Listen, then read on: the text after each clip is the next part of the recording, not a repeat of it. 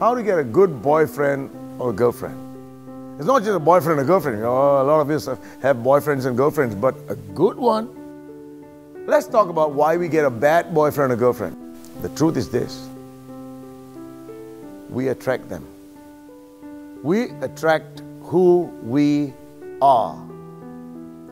So, who we are comes from our past experiences, your past experiences. The way you saw your father and mother have their relationships and your relation, your relatives and your friends and neighbors and so on. And then you get into your own relationships too. And in life, they are more bad than good, more bad experiences than good. Unfortunately, that's the way the world is designed today. And therefore, it's easy for us to be exposed to bad experiences, bad relationship experiences. And so that gets drummed into our unconscious. So, other people's experiences, our own experiences, all of them are now embedded in our nervous system.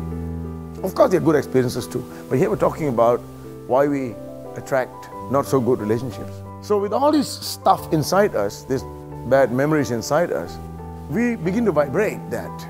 And so, that's where the law of attraction works.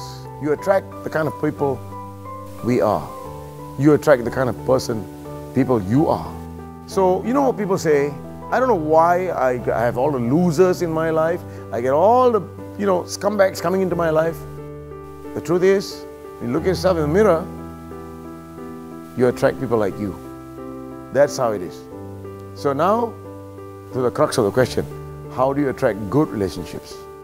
You got to work on yourself. People say you got to change yourself and then you will, you know, things will change. But what does that mean?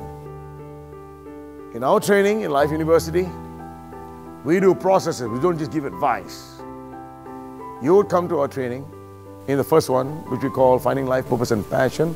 In that program, what we do is to teach you stuff that is going on inside you for you to go take it out, put it on paper, and then we put you through processes in the class over three days to clean you up, to take all the bad experiences and find the gem in every experience. And when that happens, you cleanse yourself.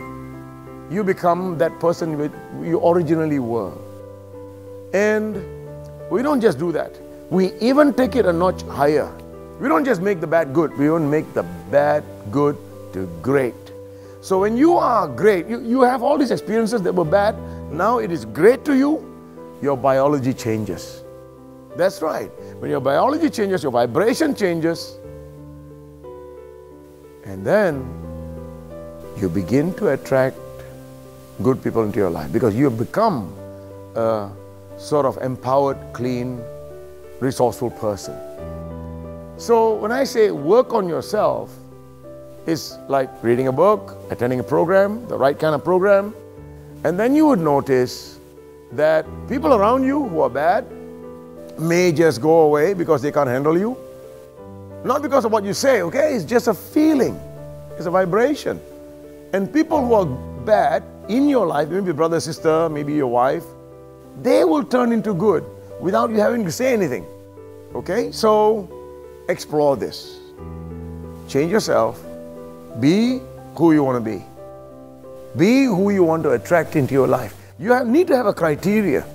Who are the kind of people you want in your life? And then you ask yourself, Am I like that? If you're not like that, you got to change yourself first. You don't know how to do it? Come on board. Thank you. And some of us may have heard this, and you might have some questions popping in your mind. If you would like to ask those questions, do visit us at the sign at Life Uni, or you click on this for you to post your questions. And if you don't want to miss the show, subscribe right here. Thank you. See you again.